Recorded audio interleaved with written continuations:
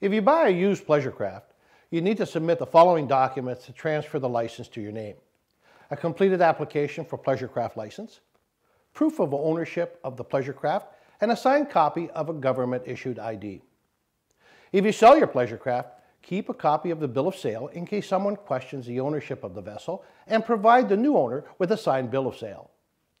The new owner will then have to transfer the pleasure craft license by sending an application form and the necessary documents by mail to the Pleasure Craft Licensing Center.